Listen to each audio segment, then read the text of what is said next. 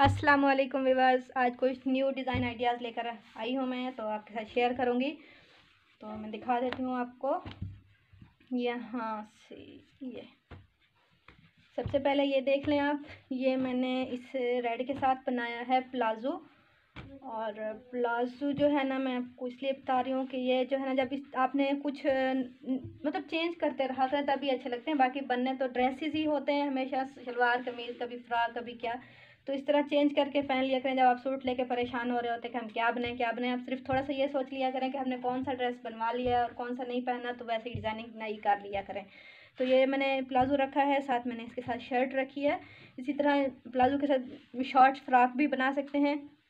ये शर्ट मैंने रखी है इसके साथ। इसकी डिज़ाइनिंग दिखाने में सिर्फ़ इसका गला है, बाकी सादा रखा है मैंने। ये इसका गला। गला जो है ना, इसका फ्रिल वाला बना हुआ है। बाजू के ऊपर जो है ना मैंने से बेल बॉटम बाजू रखे हैं। इसके साथ मैंने थोड़ी सी लेस लगा दी है और गोलाई में थोड़ी इसकी कटिंग कर ली है।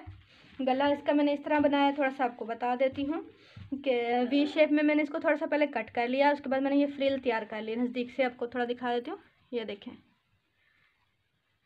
इस तरह फ्रिल पूरी तैयार कर ली और मैंने भी पहले यहाँ पर भी कट दे दिया सादा ही बगैर बुकरम के, उसके बाद सीधी, सीधा भी एक कट दे दिया। तो फ्रिल मैंने क्योंकि तैयार की हुई थी, दो इंच चौड़ी पट्टी रख के उसके बाद मैंने फ़ोल्ड किया, फ़ोल्ड करके मैंने फ्रिल बनाई और फिर इतनी काफ़ी लंबी फ्रिल बनाने के बाद मैंने उसको, इस फ्रिल को दोबारा इस तरह से कॉलर वाली साइड पे भी, यानी बैक गला मैंने नहीं कट किया, वो सारी फ्रिल मैंने इसको अटैच कर दी। अटैच करने के बाद इधर सिलाई लगा दी और साथ में लेस भी लगा दी। ये इसके गले की डिज़ाइनिंग है। बहुत ही आसानी से बन जाता है और खूबसूरत और न्यू डिज़ाइन भी है जो कि आजकल फ्रिल वाला क्योंकि काफ़ी इन है। इस तरह से इसकी फ्रिल लगी हुई है पीछे भी। पीछे से भी इस तरह लगता है। लेस मैंने पूरी लगाई है पीछे भी। ये फ्रंट साइड है। यहाँ पे इस तरह लेस और ये फ्रिल। ये फ्रिल यहाँ भी अंदर वाली साइड पे पूरी आ रही है, लेकिन यहाँ पर अटैच की हुई है। और इस तरफ़ वाली जो है ना, इस तरह खुली छोड़ी हुई है। देख लें आप। एक दफ़ा मुकम्मल शर्ट।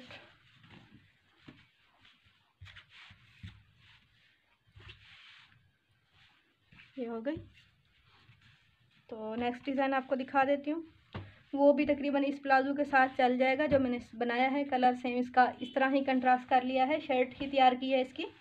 साथ इसके ब्लू ही पजामा है, लेकिन मैं इसके साथ भी अटैच कर सकती हूँ, क्योंकि इसके अंदर जो मैंने कंट्रास्ट बनाया है, वो सेम यही कलर है। यानी मैं इसे प्लाजो के साथ भी पहन सकती हूँ और साथ इसके इसी कलर के, इसकी अपनी शलवार के साथ भी पहन लूँगी। इस तरह से इसका अचानक से कपड़ा इस तरह आया है मेरे पास। इसकी डिज़ाइनिंग कुछ इस तरह से दी है मैंने। सेंटर में मैंने इसको मोटी पट्टी रखी है और साइडों पे मैंने पाइपिंग की तरह दिया है। बारीक बारीक पाइपिंग दी है और यहाँ पे जो ये जो पट्टी आपको नज़र आ रही है, ये सिंपल नहीं है। इसके अंदर प्लेट्स डली हुई है, मैं आपको दिखा देती हूँ थोड़ा नज़दीक से। चार चार प्लेट्स दी हैं आधे आधे इंच की, इस तरह।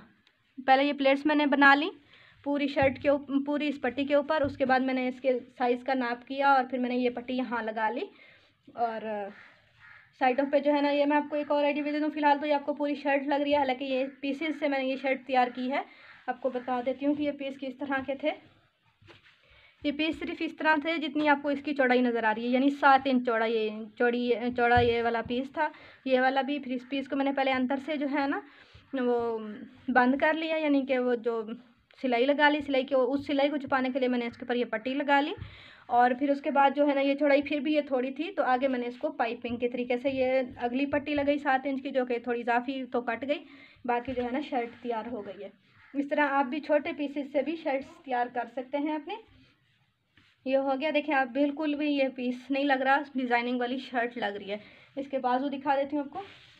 देखिए, बाजुओं की भी इसी तरह डिज़ाइनिंग जो है ना वो उन जोड्स को छुपाने के लिए मैंने उसको हल्का हल्का डिज़ाइन कर दिया है, जो कि अब बिल्कुल डिज़ाइनिंग लग रही है और साथ ये नहीं लग रहा कि ये पीसेस से शर्ट तैयार की गई है। ये देखें, यहाँ पे लेस लगा दी सेंटर में मैंने फिर पाइपिंग लगा दी और एंड पे भी लेस लगा दी। ये हो गया दोनों बाजुओं पे इसी तरह।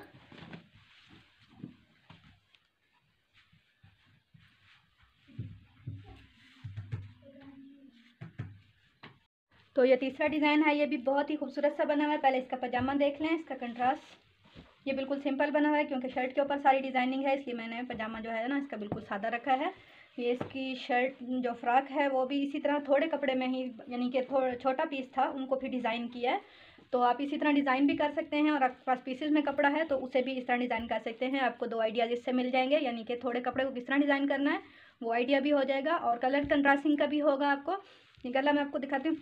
इसमें सबसे पहले तो आपको बता दूँ कि कपड़ा थोड़ा था, इसलिए मैंने इसकी जो उस कपड़े को ताकि सेट हो जाए, इसलिए मैंने उसको थोड़े, यानी सात इंच का जो कपड़ा था, उसको कलियों की सूरत में कट कर दिया ताकि वो न्यू डिज़ाइन हो जाए, कलियाँ हो जाएँ। इस तरह कलियाँ बना ली और नीचे मैंने इसको ओवरलैक भी करवा लिया, साथ पाई पी को भी करवा ली ताकि जो है ना धागे भी ना निकलें और नीचे से ये अच्छा भी लगे। तो ये तो हो गया कलियों का काम, ऊपर जो है ना मैंने इसको इस तरह डिज़ाइन किया है। अब ये भी इसी तरह, यानी आप डिज़ाइन का डिज़ाइन लग रहा है, ये जोड़ भी इसके कवर हो गए हैं। यहाँ पर ये इतना सा पीस था। यहाँ पाइपिंग कर दी, यहाँ शलवार वाले कपड़े ही, की ही पाइपिंग की है, अलहदा से लेस नहीं ली। तो यहाँ पाइपिंग, यहाँ पर भी पाइपिंग कर दी। हालाँकि मैं सादा भी रख सकती थी, लेकिन पाइपिंग से ये ज़्यादा अच्छा लग रहा है। यहाँ कर दी, यहाँ सेंटर में गले के ऊपर डिज़ाइनिंग कर दी। ये यानी कि खुला हो गया, डिज़ाइन का डिज़ाइन हो गया। तो बाजू भी इसी तरह, इतनी ही चौड़ाई में थे, जैसे आपको ये लग रहा है। यानी इतनी ही चौड़ाई थी, इतनी लंबाई। लंबाई काफ़ी, यानी कि चौड़ाई सिर्फ़ इतनी थी। साथ उसको मैंने यहाँ पर इस तरह जो है ना, दोनों साइडों में जब कट दिया जाता है, इस तरह वाली कटिंग करके मैंने इसको यहाँ अटैच कर दिया और ये अम्ब्रेला कट की तरह के बाजू बन गए यानी कि ये बिल्कुल सीधे इसी तरह आने दिए और इस तरफ़ इस तरह ये वाला कपड़ा अटैच कर दिया, जो शलवार मैंने इसकी बनाई है, इस तरफ़ और इस तरफ़ करके। इस तरह ये बेल स्लीव्स बन गए। ये डिज़ाइनिंग हो गई और नहीं पता चल रहा कि ये इसे जो है ना, जोड़ या थोड़े कपड़े से तैयार किया गया है। इस तरह से, ये देखें। अगर जैसे इसकी चौड़ाई है, इस कपड़े की भी इतनी ही चौड़ाई है देखें। लेकिन इसको इस तरह कटिंग में रखा है। दोनों साइडों से इसकी कटिंग की थी, फिर इधर अटैच कर दिया तो ये बेल स्लीव्स बन गई। ये देखिए, ये इसकी स्लीव्स की डिज़ाइनिंग हो गई। तो बैक साइड पे भी इसी तरह कलियाँ ही आ रही हैं सारी, लेकिन इधर बैक साइड बिल्कुल सिंपल है।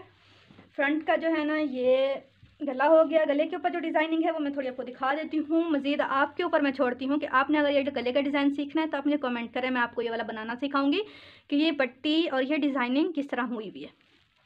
मज़ीद इसकी जो पिक्स हैं पहने हुई पिक्स वो आप मेरे इंस्टाग्राम पर देख सकते हैं लिंक मैंने डिस्क्रिप्शन में डाल दिया है तो वहाँ से आप देख सकते हैं कि ये पहने हुए कैसा लग रहा है। वहाँ भी मुझे फॉलो कर लें और अगर आप लोग फेसबुक ज़्यादा इस्तेमाल करते हैं तो फेसबुक का लिंक भी मैंने डिस्क्रिप्शन में डाल दिया है, आप वहाँ पर भी मेरी वीडियोज़ को देख सकते हैं। तो उम्मीद करती हूँ मेरी याद की ये वीडियो आपको पसंद आई होगी। पसंद आई है तो लाइक ज़रूर कर दें। मैं आपको मिलूँगी नेक्स्ट वीडियो में नेक्स्ट डिज़ाइनिंग के साथ। तब तक के लिए अल्लाह हाफिज़।